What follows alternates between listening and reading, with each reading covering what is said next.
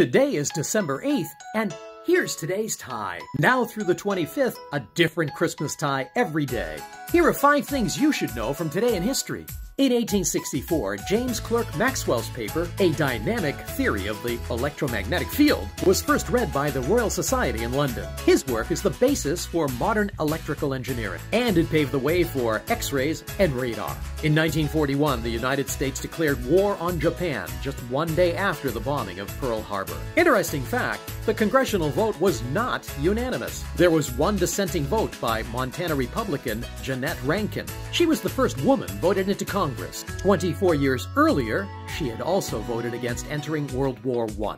In 1966, the United States and the United Soviet Socialist Republic signed a treaty to prohibit nuclear weapons in outer space. And in 1987, they agreed to eliminate medium-range nuclear missiles. In 1980, former Beatle John Lennon was shot and killed by a 25-year-old fan.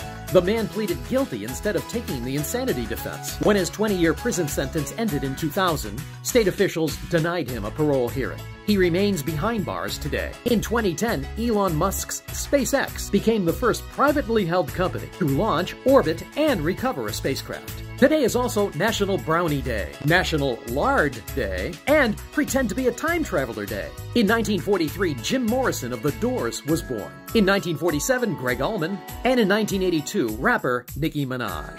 If it's your birthday today, let us know in the comments section. And that's just some of what happened in history today.